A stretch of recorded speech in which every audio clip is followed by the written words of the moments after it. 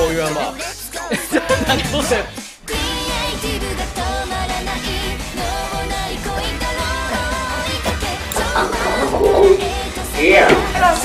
仲間同士なんだろうこの感じあ落ち着きなさいちょっと。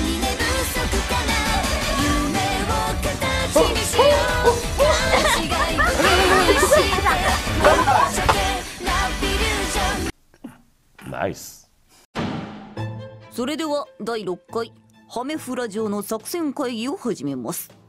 はい内田真彩さん。今回のゲスト松岡義嗣さんといえば同じ事務所の先輩。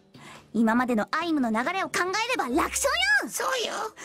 でもそろそろ同じ事務所トークも飽きられてませんか、うん確かにそれもありますがそもそもここ数回続いているゲストはパンチが効きすぎている鈴木達久さん。可愛らしさ全開の岡崎美穂さん。これまでの先輩後輩と違って今回のゲスト松岡義嗣さんは少しタイプが違うかもしれません。そんなことはありません。ニコル並みに攻略が難しそう。じゃあ一体どんなトークをすればいいのよ。やっぱりお芝居の話題でしょうか。つまんなくなりますよ確かに松岡さんといえばテストの時から150%の力を発揮するまさに芝居人。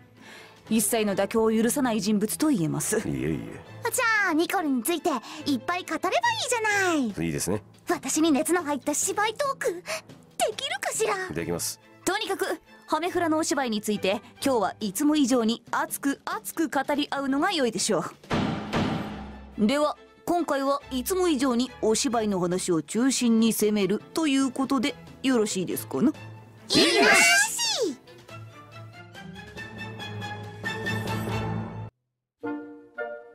改めましてカタリナ・クライス役の内田真彩です。そして本日のゲストこの方です。ニコル・アスカルト役の松岡義嗣です。よ ろしくお願いしおます。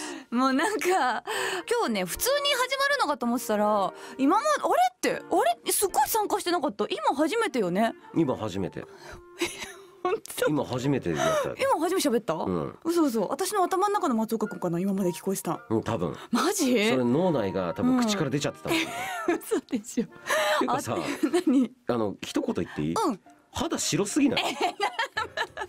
いや急突然のマスクを外したらっていうね、いやそうそうね。ビタミンちゃんと取ってるから。ビタミン取ったらそんな白くなるの？なるなる。と取ったらなるよ。取ったら？うん。なんお取らない？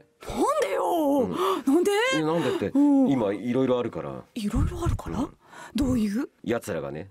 はびこっているはびこってうんうんうんそうね。だからちょっと取りたくないと、うん。ビタミンもしかしたら自分分持って可能性があるから。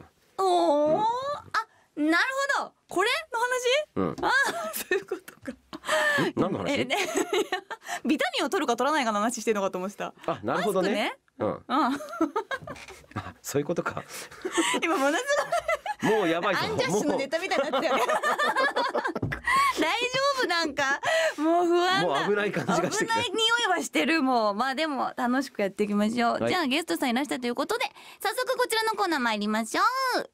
お茶会へようこそはいゲストさんと紅茶とお茶がして楽しくトークしていくコーナーです。今日も紅茶と、まあ、バレンタインの翌日ということでチョコレート用意してもらいました。ありがとうございます。あありがとうございます。食べつつやっていいということなんで、はい。のんびりやりましょう。え。ーほいほい。いやほんとなんかさ松岡くんとこうやってラジオするの、なかないよね。うん。ないね。ない。意うん。外と多分共演してたりとかなんか最近もあれ合うなと思ってたりとかしてたのに めっちゃ食べてる。うん。なんかさそうなの。回数少ないと思う。ない。ないね。ないし。うん。うん。ちょっと意外と。大丈夫。飲んで飲んで。紅茶飲んでね紅茶。熱い。うん。うん意外とビターだった。あみたいな思ってね、そうね。意外と濃いチョコレートでしたね。確かにそういう風に考えたらうん。あんまりこういう風にこうラジオとかで面と向かって喋るっていう機会はなかった？なかった。なかったし一緒に作品を作る仲間みたいな感じでは出てるけど、うん。多分主人公とヒロインっていうパターンがないんじゃない？ある？あんまないよね。一番こう主役同士ですみたいなのが、ない気がする。うん。んだよ。そうね現場で会うのは多いけども。多いけど。こんなラジオとかっていう現場だとない？そうなのそうなの、うん。だからなんか不思議な感じで今日も会って打ち合わせするときに、あどういう感じでいつもしオンの時喋ってたっけそうと思って。う。ん、なんか絶妙な違和感を感じてて、そうそうなんか話は聞くしそれこそね、ユーマと話すうんってるっていうのとかも聞くし周りから松岡君の話は聞くんだけどなんか別に会ってもさ普通にそう私たちマイムのまあ先輩後輩って形ですけど、養成所で同期なんで、うん。そんなのもあって距離も近い感じはするんだけど、そう。大体「おはようございますお疲れ様でした」っていう間柄でね。ねえ仲良くなさそうえ私のことだってどう思ってる？いやどう思ってるっていうのはやっぱそれはやっぱこう声優仲間として、うん。ね、あの一緒にいい作品を作っていけたらなって結構長い間やってるじゃんとかでも。そうなんだよね。他の作品行っちゃったよ。ピーとかしといてください。もうなんかそういろいろとねまあ10年ぐらいの付き合いでもあるから、でも結構さうん。チームが分かれるじゃん。あのチームが分かれるっていうかその派閥まではいかないんだけど、仲のいい人間がいたら、うん。そのチームで固まって喋るじゃん、あの現場とかでね。そうそうそうそう。んそうだね、うん。だから女性陣が固まってるところっていうのは、うん。自分的には聖域みたいな感じがするの。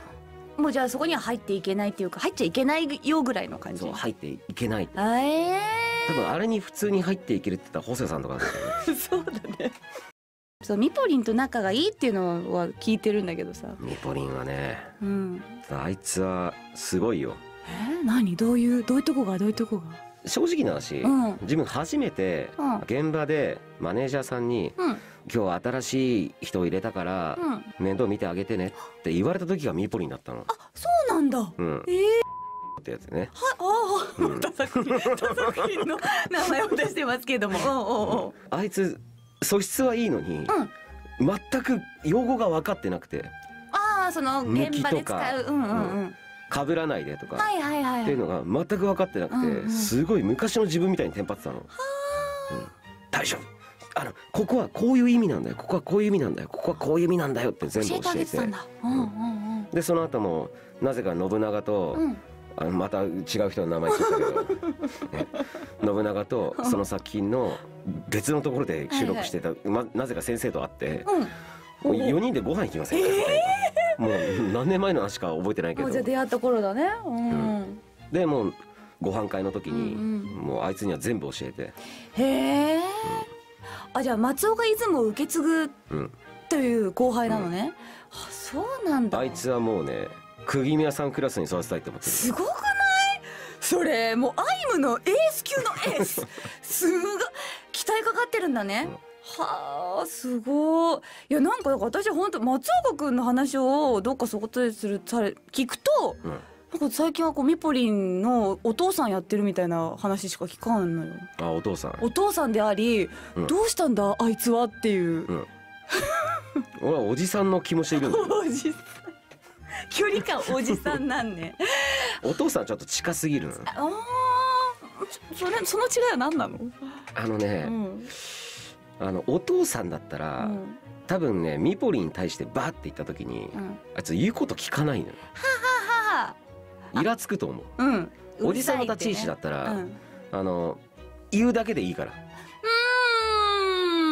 まあ別にそんな責任持たずとも、うん。言うことだけ言って、うん。はいわかりましたっうん。ていうので、うん。あとは本人がどうするか的なね。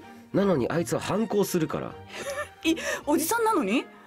いやあの自分の言ってることにはうん「あわかりました」って言うんだけど、うんうん。うん。そんなイメージ、なぜかね結構事務所に反抗するんだよね。へえ例えば髪の色とかやってた。うん。そうだよ。それこそハメフライッキーやってた頃すごい色でそ来たことあったね。うで事務所になんか言われるでしょ、うん。うん。である種ある種のいわゆる経典超えすると、うん。自分たちだったら別に何も言われなくなるの、うんうんうんね。突っ込まれるぐらいで、うん。最初の頃ってやっぱ厳しいから、うん、髪染めただけで「うん。何その髪の色、直してください」みたいな、うん言われるんだけど関係値を築いてきた我々だとうん。何もい、まあ何もっていうかまあそんな割とね放任主義というか、うん。っていうところがあるから、なのにミポリンは抗うのよ。もう？もう抗ってるの？むいやむ前はね前は結構抗ってたの。ああいや今だからあのそう。だから内側に入れたりとか。あインナーカラーしてみたり。バッて開けてみたら、あお前お前髪染めてんなっていう。普通にしたらわからないっていう。うんうん。なんでそここだわんだろうって思ってたんだよね。そうだね。そすごい詳しいよね。私のミポリの知らない情報いっぱい出てくるなっていう。面白いよ。面白いね。いやすごい。おお兄ちゃんなんだね。まあミポリンのね、私が神です